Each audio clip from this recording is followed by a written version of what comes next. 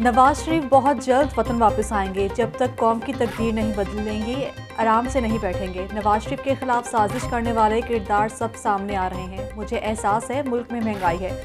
तरक्की करता हुआ पाकिस्तान वापस आएगा, इलेक्शन में मुस्लिम लीग नून भारी अक्सरियत से जीतेगी। सीनियर नायब सदर नून लीग मरियम नवाज़ का जलसे से खिताब।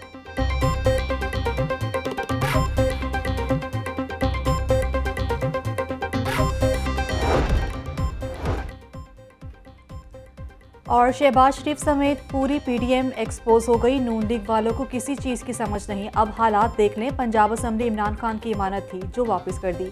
इमरान खान पाकिस्तान के सबसे मकबूल तरीन लीडर हैं। चौधरी परवेज लाही से गिलगित बल्तिस्तान के मुस्लिम लीग काफ के रहनुमाओं की मुलाकात।